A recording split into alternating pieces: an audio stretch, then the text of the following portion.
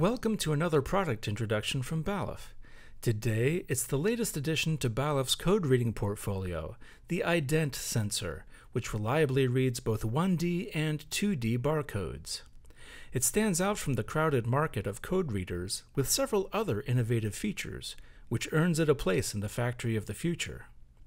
To begin with, the ident sensor is the first on the market to offer IO-Link, allowing users to integrate code reading without separate Ethernet drops and IP addresses for every reader. Users can select from multiple process and data interfaces to meet their needs, with support for the REST API and MQTT, and IO-Link and TCP UDP interfaces. This stationary sensor was designed to precisely read barcodes, 2D codes, and direct part marked codes using the MVTec Halcon algorithm, while integrated code quality metrics allow it to provide a code quality grade in addition to the code data.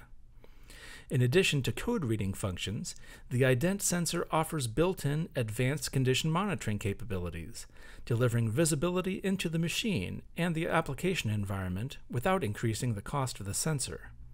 They can monitor internal temperature, vibration, humidity, inclination, signal quality, and operating time, data that can save operators time and money by minimizing downtime and increasing maintenance efficiency. Condition data is transmitted every 60 seconds, allowing operators to view the data via a dashboard using a standard web browser. No added software is needed. Fast reading speeds and a working distance of 50 to 600 millimeters make the ident sensors a solid choice for production processes and logistics applications across a wide range of industries, with an IP67 rating which makes them a good choice for packaging food and beverage applications. Versions are available with white and red light or white and infrared light. A standard M12 connection and a teach button make for easy setup.